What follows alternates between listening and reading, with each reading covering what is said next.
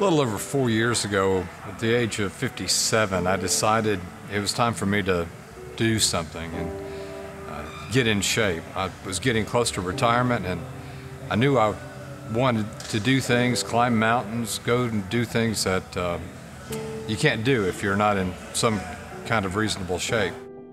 When I started CrossFit, I had to do push-ups on my knees and it was really intimidating because I could I couldn't do anything.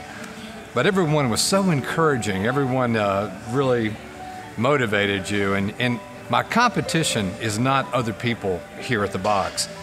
My competition is myself.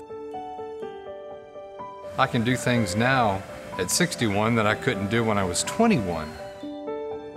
I made the Masters qualifiers for the CrossFit Regionals this year, which is something a few years ago I never would have dreamed possible.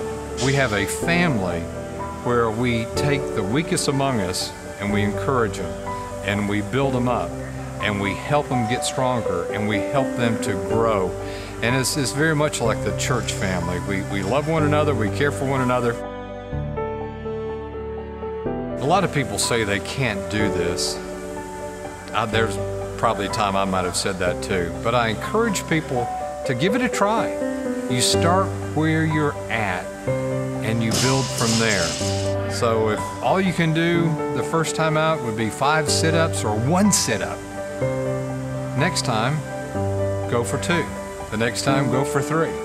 Uh, you just keep going and building upon it. It's just amazing the transformation that will take place when you do CrossFit on a regular basis. It's really changed me. I'm going to continue to do it.